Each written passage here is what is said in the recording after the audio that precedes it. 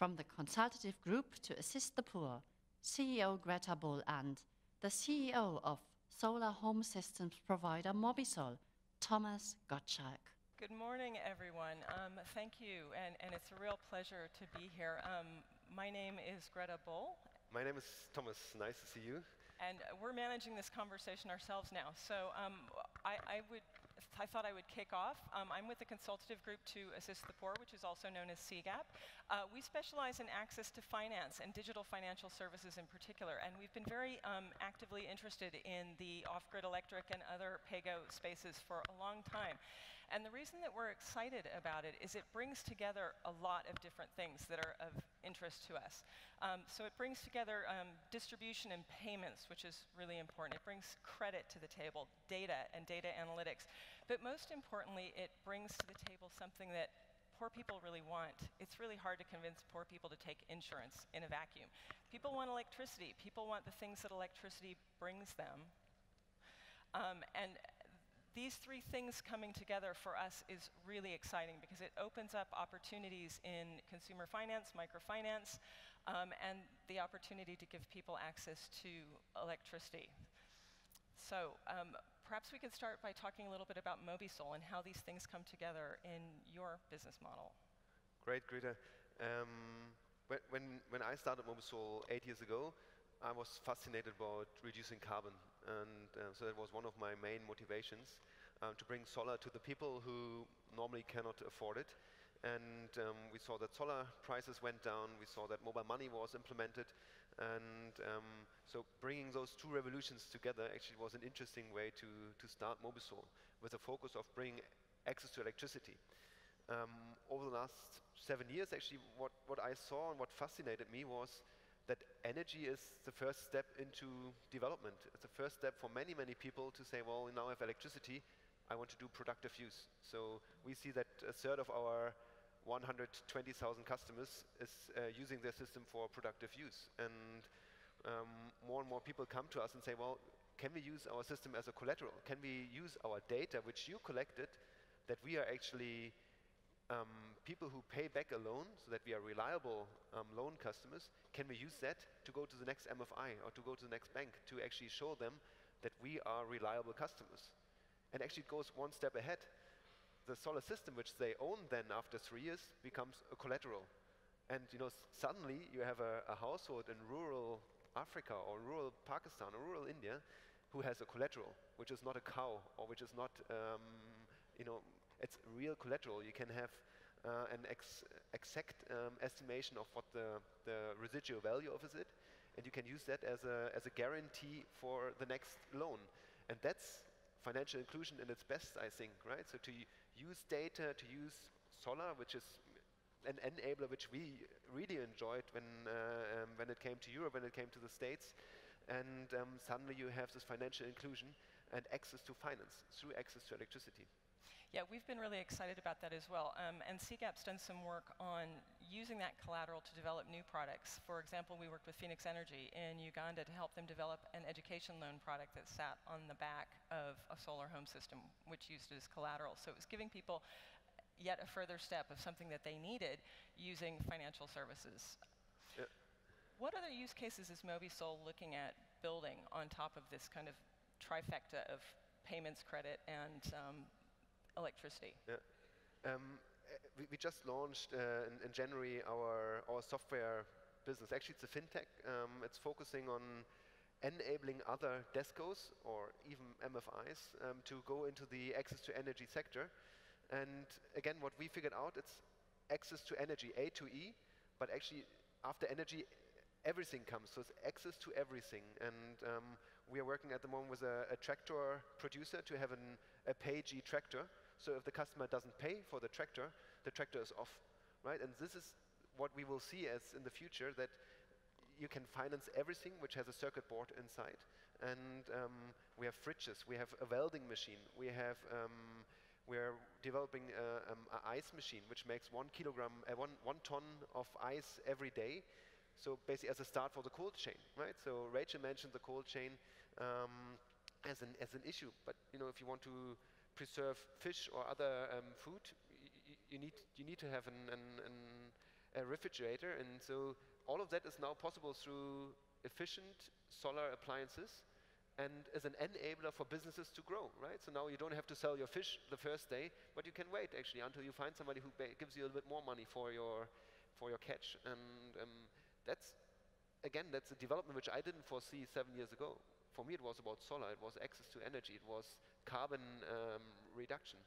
Um, but it is um, such a beautiful um, vehicle to actually see development, so real, real development. So development which is coming from the people themselves. It's not development come from the outside and say, well, now here you have to do this business or something. It's like an enabling development, which uh, I think is going to be a very sustainable development. Yeah, I couldn't agree more. And one of the things I really like about the, the solar home system space and, and the ability to make micropayments is that it actually puts control in the hands of the consumer. Um, and it empowers the consumer in terms of being able to leverage that, that control into other things. Um, one of the things that we've seen about the PAYGO space is that it, it, scales really well. So it's very similar to digital financial services compared to microfinance. So you can get scale a lot faster. But what do you see as some of the challenges or some of the limitations to growth from your experience? Um, for me, the scaling was always the interesting part, right? 1.5 billion people without electricity. So I thought if we can develop a product which is stable, which is financeable, which the people want, we can have a massive impact. And um, so we now have a product which is very stable, um, which the people want. Um, what we still see as a massive issue is uh, regulations. So coming to, to countries and um, trying to have a stable business environment where you can really rely that what you do today is still valid the next day or the next week. Um, what we see as well, and um, I'm very grateful for certain initi initiatives to take care of that, is um, a workforce which is, has the right skill set. Because um, it's extremely difficult to work in the, in the surroundings where we are. And then if you have as well the challenge of not finding colleagues which have the right skill set, it makes it extremely difficult. So um, we have our own academy um, where we train um, people, but it's, you know, you need to have a certain skill level before you can enter the sector as well. So this is something um, which more and more people are focusing on to provide an education level which then enables um, people to, to join Descos actually. Yeah, it's interesting you say that because um, Nick Hughes used to be a member of our board, and I remember talking to him about that. As you expand, being able to find the skills to grow the business was a challenge from his perspective as well. And, and that kind of brings me to another question that I'd love to hear your views on is, you know, these PAYGO companies are interesting because they're kind of a mashup between an energy services company or a, a distribution company and a credit company. And those are two really different skill set. And, and, and those two businesses have very different balance sheets. Um, and we've done some work on, on trying to describe and define how those balance sheets maybe should be separated so that investors can understand them. But what are the skills that that you really need to grow the business, um, especially as you move into new markets? And is, is access to financing a challenge as you get into more, let's say, exotic markets and exotic currencies than, than you know, the markets that you've started in? Um, I know a lot of fintechs, for example, have really struggled with um, local currency debt financing, particularly as you go into markets like the DRC or Zambia or Malawi. And so how much of that is a constraint as well for you? You know, it's a little bit how you define exotic. Um, Tanzania compared to Germany is pretty exotic already. Um, I think there was a development over the last 12 months where a few existing descos could actually cooperate with banks. Like M-KOPA uh, has a, a, cooperation with Stanbic. We have a cooperation with CRDB in Tanzania. And I think us together, we have a, a volume over $60 million in local currency financing on okay terms.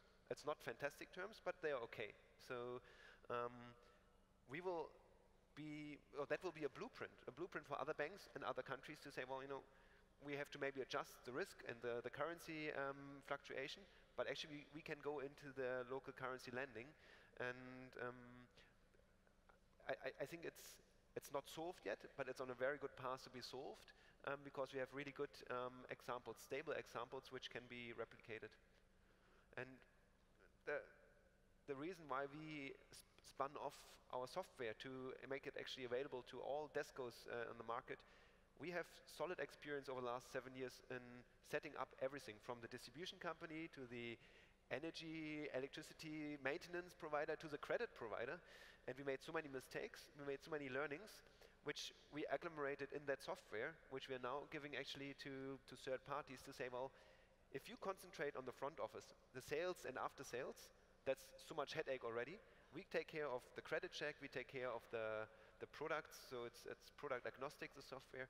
We take care of everything what happens in the back office so that you can really concentrate on the heavy, heavy work every day on uh, enabling that people have access to the products and that the products are maintained.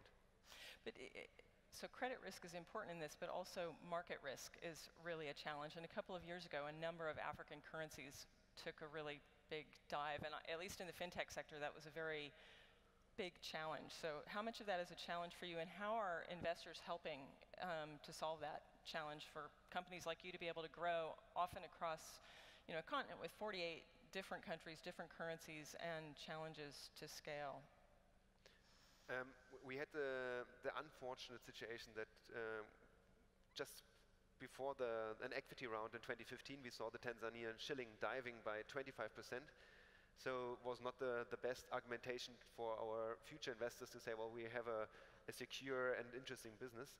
Um, again, the local currency will help us. Um, we have to price in the cost for it towards uh, the customer. Um, there's th the hedging, you know, becomes maybe more and more interesting. We have a very absurd situation in, in 2017 where we lost, I think, four and a half million dollars in, in currency because of uh, President Trump. Right? It was not the local currencies which devaluated, it was the dollar which devaluated. So every hedge between the dollar and the local currency would have not helped us. It was the dollar and the euro, which gave us a huge uh, headache. And um, so I, I, think the, the currency issue will be actually an issue for the, the coming years to be, to be solved. So I, I don't think that um, with all different currencies, we, we buy part of our, uh, our products in, in China. So the, um, the RMB had an issue as well with the devaluation or, uh, uh, to, towards the dollar. And um, so this is, I think, a risk which needs to be priced in. Yeah, and, and I think there's a lot that the investment community here can do to sort of help companies like yours to address some of those risks. Um, on the credit risk side, we've been um, we've been increasingly concerned in some of the markets that you're in in East Africa about over-indebtedness. So we did, uh, uh, particularly around digital credit, which is a product that's growing in parallel with yours and very, very popular, um, particularly in East Africa. Um, very short-term loans, very high interest rates, and pretty high default rates. Um, how is that impacting your business? Do you see risk um, on the horizon?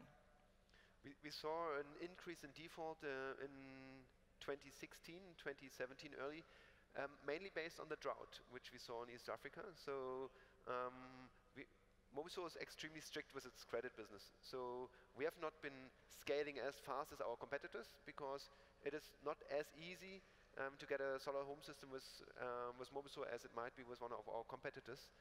Um, there was a workshop today around um, customer protection principles from Gogla, which is in parallel to that session, so I, I couldn't join.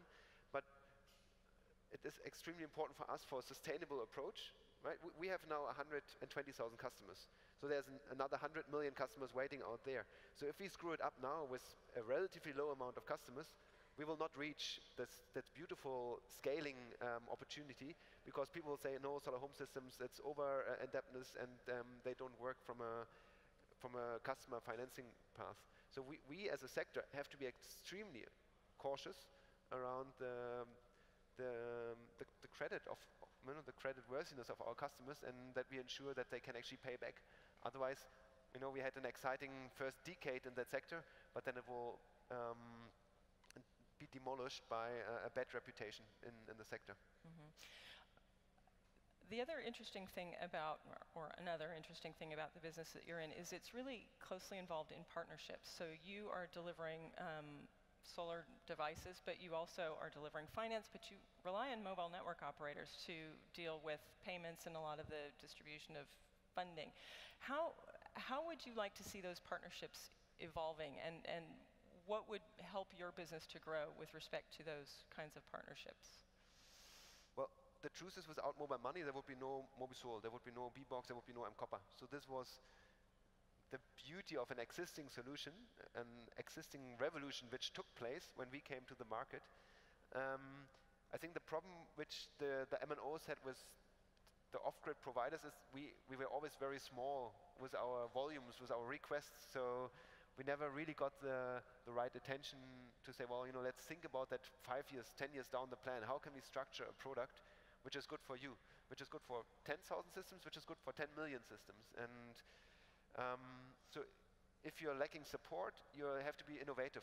That's the beauty, beautiful thing about entrepreneurship, right? That you can be creative, that you have to think about problems and have to come up with solutions. There are many startups, many fintech startups which are offering mobile money alternatives to the MNOs. Um, we have been working on a um, on a device which where we can use data transfer, transfer from the system back to our database, so we know the health of our systems. So I think that you know if you have challenges, you will have to come up with um, solutions. And um, the challenge that we were too small for the MNOs in the first years of our existence mm. brought us to, I think, more independence from the MNO. So we, we don't need them anymore uh, as, as a partner. We happily work with them because it's a beautiful cooperation. It's such, it's so full of synergies. So it would be sad if we would not use that. But it's, we are not forced to use them. So it's a risk mitigation. It was important for our investors to say, well, what if uh, Vodacom or Airtel is, is cutting uh, or taking the plug out? Um, what, what do you do then? And um, so we, we needed to, to work on that um, on that alternative routes to um, ensure that our business is viable. And that actually in the end brought the cost down. And if you're talking about cost, our customers are not rich, right? So they have to pay for everything. We are not grant funded. All of our money is commercial. Uh, from the 100 million um, euros which we, we raised, I think 2.4 million is grant money. So a substantial amount uh, is, the, the, the, vast amount is uh, is commercial um, money, we have to ensure that our customers actually can pay for their service, right? We cannot lose a customer so that the customer is defaulting. So we have to ensure that our service is as cheap as possible, right? We are there, we're not there yet, right? We are still serving the, the rich of the poor, right? We are not, if you look at the, the economic pyramid, we are not down there yet. We are somewhere in the middle. But which each and every day, which even every system which we install, we get more experience. We understand better, okay, here we can save a few cents.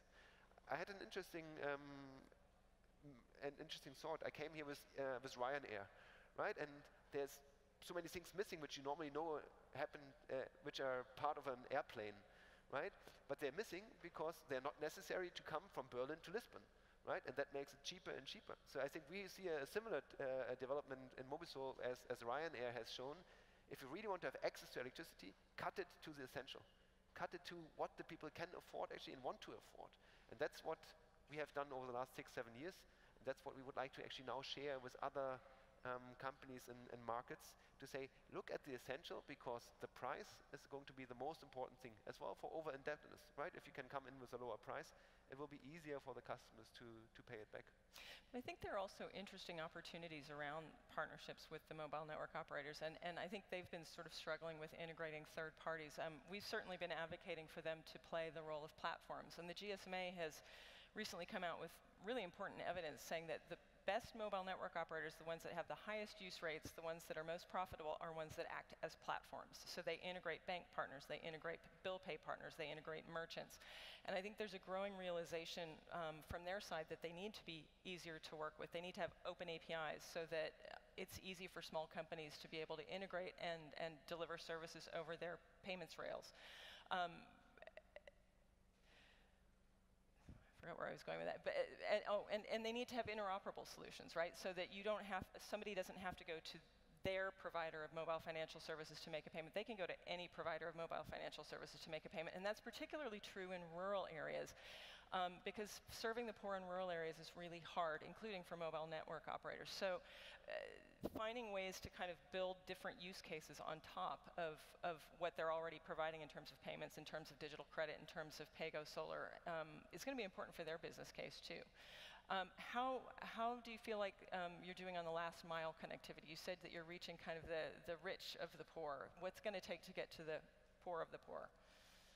Um, maybe two, three years um, to be more efficient. So when we started, our batteries had a, a, lifetime expectations of three years. Now we are at eight years, right? Eight years lifetime expectation of, of battery. When I started, I bought a, a solar panel for, I think, 74 cents a, a watt peak. Now we buy them for uh, around 30 cents um, watt peak. So um, there's a natural degradation of, of price um, coming, which will be very supportive to reach the poorer uh, uh in, in, the, in the pyramid. But at the same point, through scaling, you know, you have your maintenance technician, and the maintenance technician, she or he, can service 10 people or 100 people in that area. So it's going to be through the scaling uh, as well, just cheaper to offer the service to um, to more and more people. Um, I'm I know I'm a big fan of innovation because I've seen what innovation brought to Mobisol over the last seven years, and um, so I, I'm, I'm very sure. And um, the, the speaker before said by 2030 the energy access problem will be solved. I'm, I, I will sign that in, maybe even already 2028. Um, because of innovation and um, because of sexiness of the product. And um, so I, I don't have to be convinced that we have a solution on hand which can be scaled. So we are not 100% ready yet, but I would say we are at 85, 86%. Um, give us a little bit more, and then we will actually have products. We will have a, a product which can be used for cooking. So that was requested. Uh, um, that will be coming into the market in two years, which will be extremely efficient and um, yeah, be one of the solutions which many people have looked for for a long time. Great. I think we're out of time. Thank you very much. Thanks a lot.